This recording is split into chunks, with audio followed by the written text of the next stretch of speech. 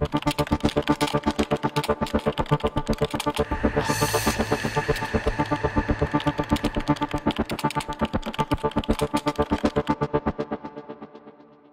Integrantes del Frente Nacional de la Lucha por el Socialismo hicieron un bloqueo intermitente donde repartieron volantes a los automovilistas, en el cual expresan su inconformidad contra el gobierno por las desapariciones forzadas, la masacre contra estudiantes y demandaron la violación de los derechos humanos.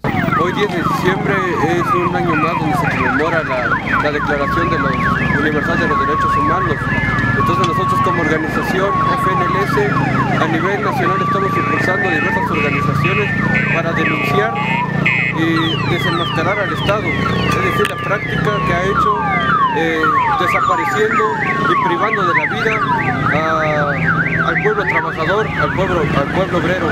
Es decir, el derecho a la vida nos lo están coartando, entonces nosotros estamos denunciando, estamos denunciando la práctica que en nuestro país a este año ya suman más de 85 mil casos, 85 mil casos de detenciones y desapariciones forzadas. Eh, denunciamos también eh, la masacre contra estudiantes el día 26 de septiembre eh, en el estado de Guerrero, en Ayotzinapa, donde fueron desaparecidos los 43 normalistas. Este es un ejemplo claro de la violación a los derechos humanos, sin embargo, eh, además hay un sinfín, un sinfín de derechos humanos que están siendo violados, despojos de tierra, eh, negarles el derecho a la salud y muchos más.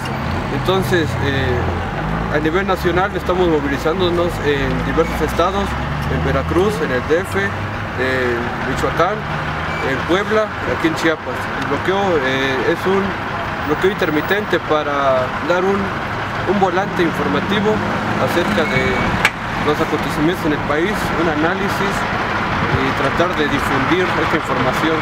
Se está este, pasando el bote también para una cooperación, es una cooperación voluntaria. Se está eh, pidiendo el monto de 20, pero tampoco este, si no se, se trae es voluntario.